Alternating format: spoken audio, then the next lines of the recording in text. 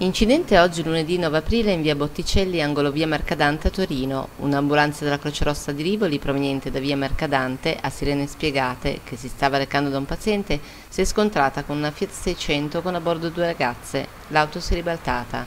Le due giovani sono rimaste ferite e trasportate all'ospedale San Giovanni Bosco.